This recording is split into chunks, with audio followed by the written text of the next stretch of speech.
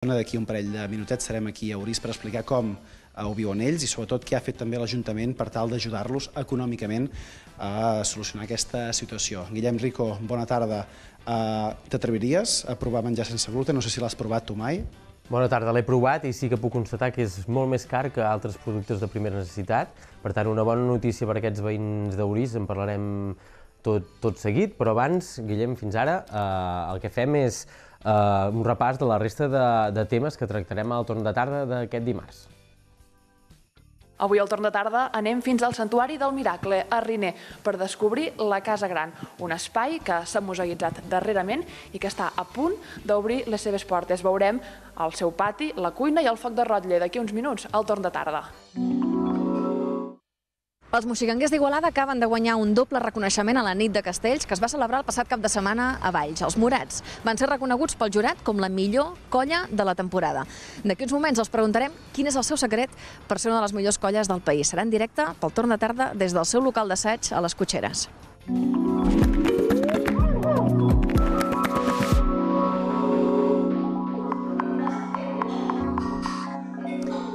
Quan una persona celíaca es veu obligada a canviar els seus hàbits alimentaris, eh, això és sinònim d'una major despesa en aliments bàsics com per exemple el pa, la pasta o altres aliments com els que veiem ara a l'inici de, del, del programa. Guillem Sánchez, bona tarda de nou. A, a Orís, com dèiem, han intentat revertir no, aquesta situació de, de repercutir una mica en el cost que suposa pels veïns aquest tipus de productes. Hola Guillem, sí, bona tarda. I ara ens explicarà d'aquí a res a poca estona l'alcalde d'Orís, l'Arnau Basco, però abans hem de conèixer una mica la situació de la, de la família. Jordi, molt bona tarda. Hola, bona tarda. Des de quan saps tu que ets celíac i els membres de la família també, quan, quan saben que són celíacs? Bueno, nosaltres ho sabem des de l'any 2019, van diagnosticar el meu fill petit, en Pol, i a partir d'aquest moment doncs, eh, vam anar fent proves al resta dels membres de la família i al final tres dels quatre que, que vivim aquí a casa doncs, vam sortir que érem, que érem celíacs. Això vol dir, Jordi, un canvi d'hàbits especialment en l'àmbit alimentari, eh, de passar de menjar normal a haver de menjar sense gluten. Eh, va ser difícil aquest, aquest trànsit? Va ser, va ser llarg el procés? Bueno, mm, diguéssim, vam haver de, de canviar totalment doncs, el, la tipologia de productes que, que, que portàvem aquí a casa.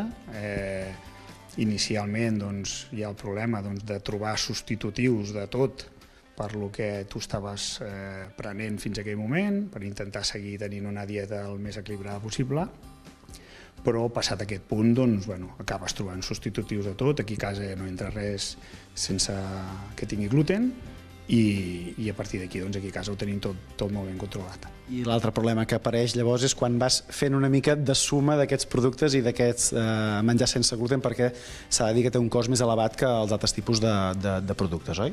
Sí, la veritat és que el, la primera problemàtica que és trobar producte doncs, últimament doncs, ha millorat molt, però sí que és veritat que pagant un sobrecost per molts dels productes que podríem considerar com a bàsics, com poden ser el pa i els seus derivats i la pasta, on a vegades aquest sobrecost pot multiplicar per 4 i per 5 el preu d'un producte normal, diguéssim. Uh, ara et volia demanar per això, Jordi, no sé si algun d'aquests aliments que tenim aquí podríem fer una mica d'aproximació de, de, de què podrien costar, sent sense gluten o sent amb gluten, o algun altre exemple que, que tinguis al cap ara mateix. Home, per exemple, el que sí que està estipulat amb, amb estudis que han fet de diferents associacions de celíacs és que amb, amb hi ha un sobrecost d'entre uns 850 i uns 1.000 euros anuals de la cistella compra bàsica d'un celíac envers a una persona que no és celíaca. Nosaltres, per exemple, per posar per posar-te un exemple, doncs, eh, podem estar pagant per, per una baguet eh, doncs, més de dos euros i mig, quan en un supermercat o en un fort de pa la pots trobar per, per bastant menys d'un euro. Doncs gràcies pel testimoni, Jordi. I el que ha fet l'Ajuntament d'Urís per poder intentar ajudar a revertir aquesta situació és eh, tirar endavant una subvenció. Arnau, bona tarda. Molt bona tarda. Perquè les persones diagnosticades com a celíaques que siguin d'aquí d'Urís puguin tenir una ajuda econòmica anual per intentar revertir una mica aquest sobrecost, oi? Exactament, sí, sí, és el que dius, amb aquesta línia de subvenció que hem obert aquest any a través del catàleg de subvencions que posem a disposició de les famílies cada any. És una línia nova eh, que al final ve donar resposta a aquesta demanda que ens va fer arribar en Jordi i la Núria pels, eh, diguem-ne, per les, pels sobrecostos que tenen les persones que, que, que pateixen aquesta malaltia i, i per tant com a tal ens va semblar que havíem d'intentar fer alguna cosa per, per ajudar a aquesta tipologia de família que normalment, doncs, com has pogut veure, doncs, de quatre membres de l'unitat familiar, tres ho pateixen i per tant ens va semblar que havíem de donar resposta a la mesura que hem pogut a la seva, a la seva demanda. És una ajuda de 500 euros a l'any per persona, eh, però només s'hi poden sumar o hi poden optar persones diagnosticades com a celíaques, no, no gent o població d'Urís que vulgui comprar menjar sense gluten, oi? Exactament. Entenem doncs, eh, això com una malaltia crònica i per tant eh, com a tal eh, per sol·licitar la subvenció, eh, a part de justificar com qualsevol altra subvenció doncs, amb tiquets de compra tot el que són productes d'alimentació. Eh, el que també demanem és un certificat mèdic que acrediti doncs, aquesta condició. A partir d'aquí la, la subvenció es pot demanar, és un màxim de 500 euros per persona i any. El, el que intentem és ajudar en aquest sentit per sufragar aquests eh, sobrecostos no? que, que deia en Jordi, doncs, eh, que, que, que doncs, hi ha una forquilla entre 500 i 1.000 euros a l'any de, de sobrecost en, en referència a productes eh, normals, no? si podem dir-ho d'alguna manera, normal. Eh, aquesta és, diguem-ne, la, la iniciativa i al final això ha sigut gràcies també a, a ells, no? que, que ens van fer arribar la seva inquietud i com a Ajuntament hem pogut, hem pogut abordar-ho i donar-hi i donar una, una resposta en forma d'ajut econòmic. Perfecte, Arnau, moltes gràcies. Com veieu, eh, doncs, per acabar comprant productes com aquests que tenim aquí mateix ara sobre la taula, si més no, ara els veïns d'Urís, que siguin celíacs, ho tenen una miqueta més fàcil. Doncs gràcies, Guillem. Una, com dèiem a l'inici, una bona notícia per a aquestes persones que són, que són celíaques i que en aquest cas que viuen a Neuris i que esperem que doncs, serveixi perquè es pugui extendre aquesta, aquesta mesura en altres municipis. Gràcies. El que fem ara és anar-nos-en a parlar amb la sorienca Montse Peralta, eh, que ha presentat el conte T'estimo molt, princesa, una publicació basada en una història personal que pretén ser una eina a favor de la inclusió social. En parlem, com dèiem, amb ella, amb la Montse. Bona tarda. Benvinguda. Hola, bona tarda. Què tal? Uh, Explica'ns com sorgeix la idea de, de publicar aquest conte. Uh, mira, jo tinc un familiar, uh, un cosí de ma mare, uh, i bueno, uh, feia temps que volia escriure una història sobre, sobre ell. I és un llibre, conte homenatge, doncs, sobre en Jordi, que és el que té síndrome de Down, que té 55 anys. Uh, això, explica'ns una mica um, el, el, el, el, el que es pugui avançar eh, de, del protagonista de, del, del conte. Mira, uh, tracta sobre les aficions i una mica el que li agrada fer a en Jordi, no? però sobretot el que li agrada fer en família. El Jordi és molt familiar, li encanta passar el temps en família, no? i a part de parlar una mica de les aficions i tot el que li agrada fer, hi ha aquest rerefons de disfrutar una mica en, en família i això més o menys. I el títol d'on surt? Uh, T'estimo molt, princesa. Doncs el Jordi uh, té per costum a les persones que estima doncs els diu princeses, no? I jo me'n recordo que de ben petita sempre m'havia dit uh, princesa. Però ara actualment, allà on va ell al taller Coloma de, de Berga, doncs a les monitores, a qualsevol persona que té estimació, doncs li cau el nom de princesa. Uh, és un conte que té unes il·lustracions. Explica'ns una mica aquestes il·lustracions. Són sí, de... són, sí uh, són unes il·lustracions uh, que són de la Jessica Valentín, una companya meva, i bueno, hi ha hagut un currazo darrere tremendo, perquè ha sigut un conte autobiogràfic, i llavors hi ha hagut moltíssima feina al darrere, perquè s'han treballat en fotografies reals, algunes d'elles surten aquí exactament tal com són, i d'altres doncs s'ha treballat molt els vestits que porten, que estiguin clavats com a les fotografies. I hi ha hagut molt treball darrere doncs, de la meva il·lustradora, la, la Jessica. Quan va néixer en Jordi hi havia menys eines per fomentar la, la inclusió social. Aquest conte pot servir com per això, per, per, per fomentar-ho, per difondre-ho? Sí, realment, realment és el que estem intentant també una mica amb aquest conte, no? En l'època del Jordi era molt complicat això, perquè amb l'edat que té actualment, 55 anys, doncs no hi havia tantes eines com hi ha ara, no? Ara els incloeixen a classe, hi ha fundacions al darrere, és una mica més fàcil, tot i que eh, trobo que encara hi ha molta feina a fer. Llavors, el que intentem amb aquest conte també, doncs, que llegeixin molts altres nens, pares, inclús també, que creiem que pot agradar, doncs que ho llegeixin i que coneixen la història d'un nen amb síndrome de, de Down i que així puguin entendre també una mica com són ells, no? I que s'adaptin entre un i altre i així es pugui fer més, més com inclus, inclusió social. I de fet al final del conte hi ha unes, unes preguntes no? per treballar-ho precisament amb els més petits. Sí, exactament. Són unes preguntes de si els ha agradat el conte, de com s'han sentit, uh, què és el que més els ha agradat. I llavors al final n'hi ha una altra que és, uh, per exemple, què és el que més disfrutes tu fent i que, bueno, és això, per exemple, el Jordi doncs, disfruta molt amb la família, no? Doncs pensar molt interiorment què és el que més t'agrada fer a tu, estar amb la família, el que sigui. Perfecte, doncs Montse, no tenim més temps. Moltes gràcies per acostar-nos a aquesta història d'en Jordi i esperem que pugui arribar a molta altra gent també. Moltes gràcies a vosaltres. Adéu, que vagi bé. I el que fem ara és endinsar-nos en el món de, de la botànica i la floristeria. Podem, no, es, no, es poden tenir plantes interiors a l'hivern, com s'han de cuidar, cada quan s'han de regar. Aquestes són algunes preguntes que, que volem fer avui. De fet, eh, tenim l'Eric preparat amb una llibreta i un boli per, per aprendre de plantes. Eric, bona tarda. No sé si ets dels que té la casa plena de plantes o si les saps cuidar, si se't moren, una mica com,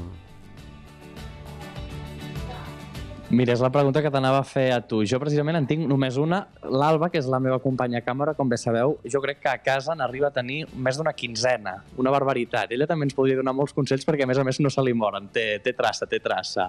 Ens acompanya la Jordina de la Floristeria Orquídia de la ciutat de Berga. Jordina, bona tarda. Hola, bona tarda. Tu ets de les que tens moltes flors a casa o no? O aquí només a la botiga ja en tens prou?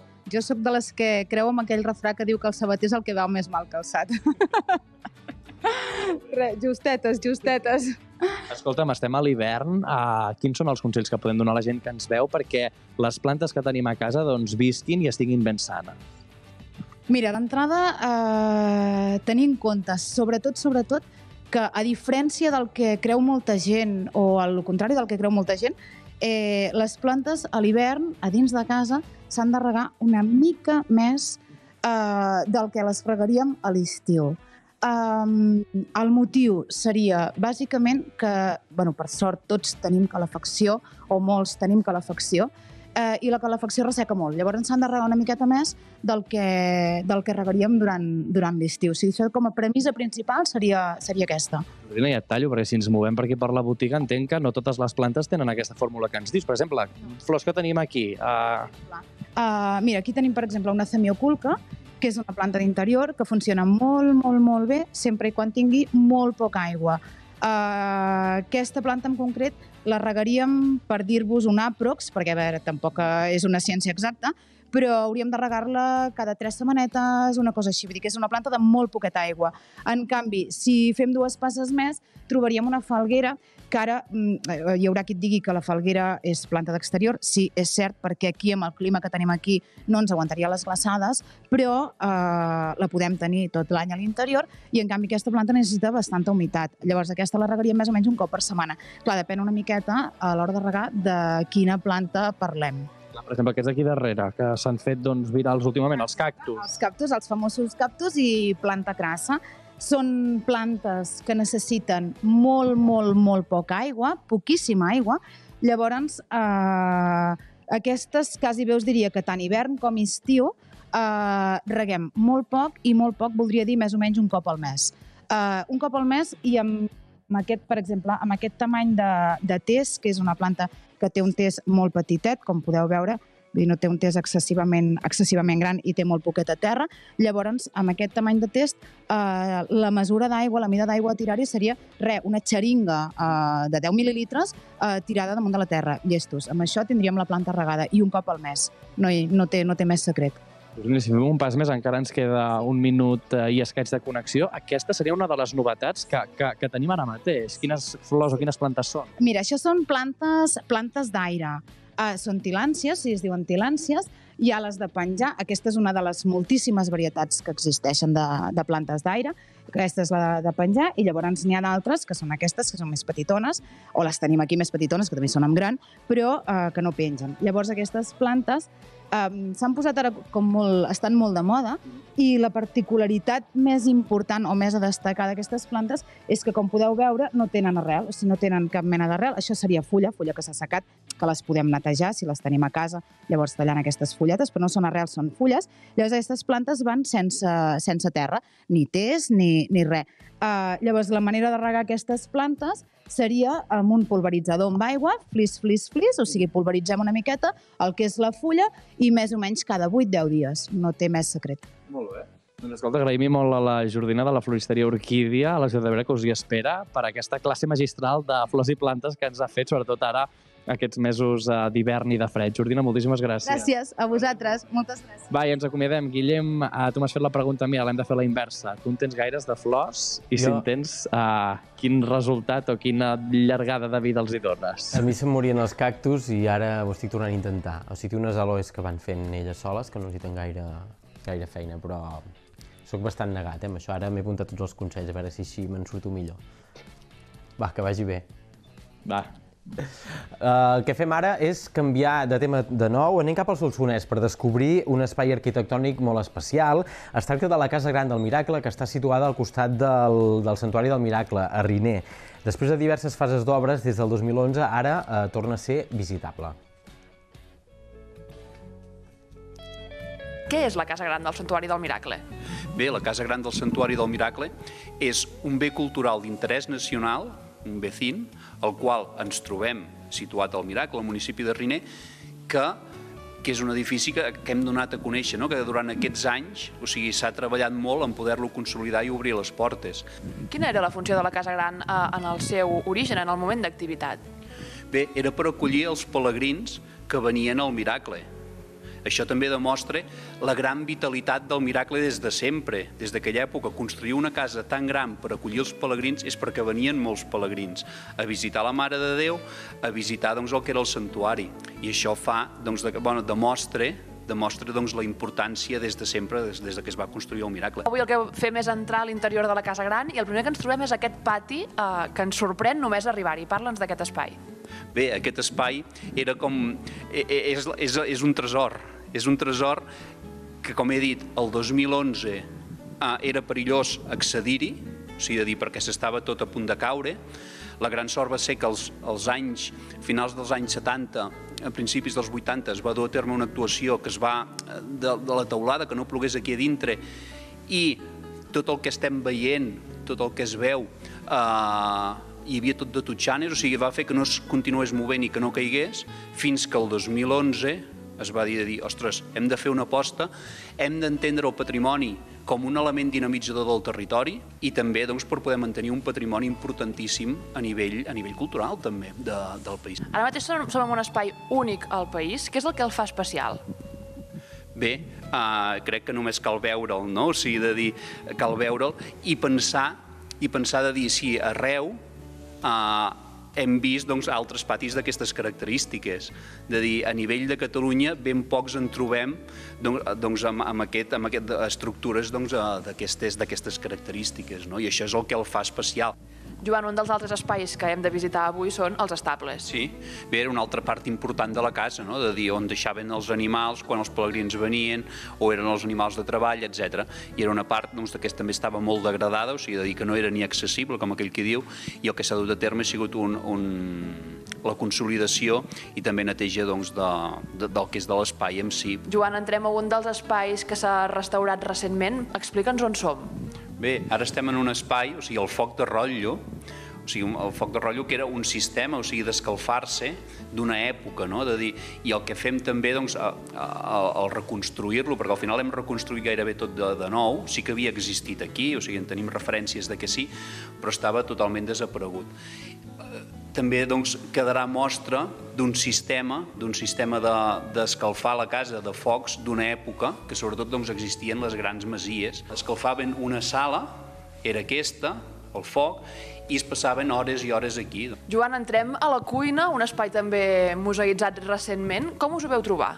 Bé, aquesta cuina estava eh, que es, es conservava els mínims per fer veure que era una cuina, o sigui, com la, com la llar de foc, la cuina en si, o la, o la higuera, on rentaven els plats, però la resta estava tot que s'estava decaient. Què hem intentat? I això també gràcies doncs, a, a tot el personal, que, a totes les persones que han treballat, des de l'arquitecte, l'arquitecte tècnic, que són persones doncs, amb una gran sensibilitat en aquest sentit, qui ho ha museïtzat, que és Cap Patrimoni, etc. El Departament de Cultura, doncs, tothom ha fet un gran esforç doncs, per poder fer per poder fer doncs, de, de que aquesta cuina tornés a ser o es tornés a veure com era en aquella època, no? Queda feina per fer encara a la Casa Gran del Santuari del Miracle. Queda feina, queda molta feina per fer en municipis com el de Riner, que, que el finançament, o sigui, de dir, econòmicament estem molt limitats, es fa molt difícil dur a terme projectes d'aquesta envergadura. Si volem realment un país un país viu, o sigui, un país equilib amb, amb aquell equilibri territorial que sempre estem dient, no podem tenir els mateixos ajuts o el mateix percentatge d'ajuts a un municipi com Riner com pot ser el d'una gran ciutat. A nivell patrimonial, quan estem parlant d'un bé cultural d'interès nacional com és aquest, és, no és un patrimoni de Riner, és un patrimoni de tot el país.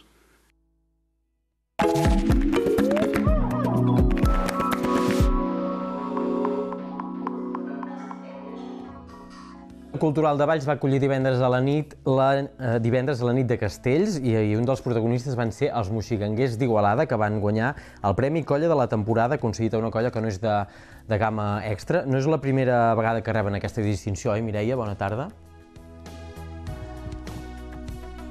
Bona tarda, Guillem. No, no és la primera, ja van guanyar aquest premi el 2018 i ara el repeteixen i, a més a més, no és l'únic premi que han guanyat aquest cap de setmana. Bona tarda, Miquel. Bona tarda. Moltes felicitats. Moltes gràcies. Millor colla eh, de la temporada, però a part també un altre premi, que és... La gamma més completa de Castells de 8. Això vol dir que els hem fet pràcticament tots. Esteu contents? Estem molt contents i, a més a més, d'aquest reconeixement que és totalment objectiu. O sigui, no hi ha ningú millor en Castells de 8 que nosaltres.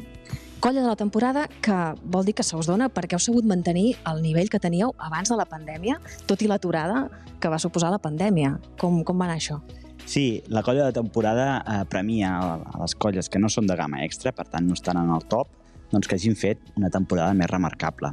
I a nosaltres el que ens han volgut una mica doncs, fer una clocada a l'ullet és que justament aquí a Igualada, en el lloc on va començar tot, a la zona zero de la pandèmia a Catalunya, haguem estat la punta de llança de la recuperació del món casteller. Clar, en uns temps en què hi havia restriccions, no es podia quedar amb normalitat, però vosaltres vau trobar la manera, amb enginy, amb creativitat, de poder seguir assajant. Bé, hi van haver dues maneres de viure la pandèmia, la de resignació, la de si no podem assajar tots, doncs no assaja ningú, i, i la de buscar la manera de que una, d'una forma ordenada, d'una forma segura i d'una forma, sobretot, sense saltar la, la, la legislació, es pogués assajar. I la veritat, no eren assajos normals, però com a mínim no perdíem la forma i sobretot la, la canalla no perdia doncs, la, el seu aprenentatge. Mm. I no només us heu mantingut en el nivell, sinó que a més a més heu estrenat castells. I alguns d'aquests els tenim aquí a la pissarra, els podem veure? Sí. Uh, bé, aquí a la pissarra els veus, els veus escrits, però, per exemple, jo et podria dir que un que es va ser molt important l'any passat és aquest que veieu aquí tatxat, que és el 5 de 8, que el vam recuperar postpandèmia. Eh? L'havíem perdut a prepandèmia i el vam recuperar postpandèmia. I un altre que veig per aquí, a veure si el veig, si el veig, si el veig molt important, és aquest d'aquí, que ja està bastant borrat, però és el 7 de. I el 7 d'aquí faltaria un 7 de 8, que aquest castell no l'havien fet mai i el vam fer eh, postpandèmia. Tot això és el que s'ha valorat amb aquests eh, dos premis. Sou una de les colles, podríem dir, més um, top, en el top 10 de les colles de Catalunya. Bona tarda, Jordi. Hola, bona tarda. Cap de colla, tu també hi tens a veure en que això vagi tan bé. Esteu allò al peu del canó. Sí, bueno, jo estic uh, una mica de, uh, al cap visible, però al final uh, és cosa de molta gent treballant, a part de tota la gent de la colla. Uh, hi ha molta gent, tant a l'equip d'administratiu que, que ara lidera el Miqui, com a l'equip tècnic, que, que jo sóc el que el lidero, però a darrere meu hi ha molta gent treballant i que ens ha permès això, uh, rebre aquest reconeixement a colla de la temporada i el, i el de la gamma de, de Castells de Vuit, que ha fet que, que, bueno, doncs que la colla estigui reconeguda al món casteller. Hi ha deures a fer, però, oi que sí? Aquí és on assageu normalment, just ara estem aquí, aquí sota. Um, què, què esteu entrenant ara mateix? Bueno, doncs ara a principi de temporada, uh, clar, venim d'haver parat, uh, no hem parat molt a comparació d'altres anys, però hem parat dos mesos. Llavors ara es tracta de tornar a recuperar el nivell de forma, de, de formar nous castellers uh, des de la canalla que, que creix molt ràpid fins a, a baix els, la gent que, que va venint nova a la colla, tornar a formar-los i tornar a arribar a recuperar el nivell que teníem a final de temporada, que és el, el nivell màxim on estàvem. Llavors comencem una mica més a poc a poc uh, del, del que fem a final de temporada, però uh, comencem una passa per davant que la temporada passada, per exemple, uh, a nivell de forma, a nivell de, de volum de gent i a, nivell, a tots els nivells en general. parlem d'aquest local també de les cotxeres on som ara, perquè és un local que, que us dona molta projecció també més enllà de, del món casteller, oi? Home, um, cada cop que hem estrenat un local, la colla ha fet un pas endavant. I aquest crec que és el local ja que ens ha permès arribar a colla de nou i el que ha de venir.